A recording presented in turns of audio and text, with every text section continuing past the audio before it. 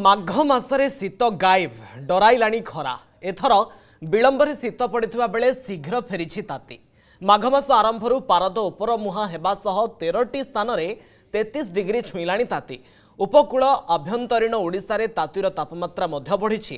ଭବାନୀପାଟଣାରେ ସର୍ବୋଚ୍ଚ ଦିନ ତାପମାତ୍ରା ପଇଁତିରିଶ ଡିଗ୍ରୀ ରେକର୍ଡ ହୋଇଥିବା ବେଳେ ରାଜଧାନୀ ଭୁବନେଶ୍ୱରରେ ଚଉତିରିଶ ଦଶମିକ ଚାରି ତାପମାତ୍ରା ରେକର୍ଡ ହୋଇଛି।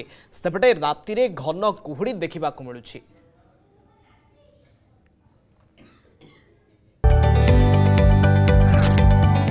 जदि आपंक आम भिडी भल लगा तेब आम चेल्क को लाइक सेयार और सब्सक्राइब करने को जमा भी बुलां नहीं।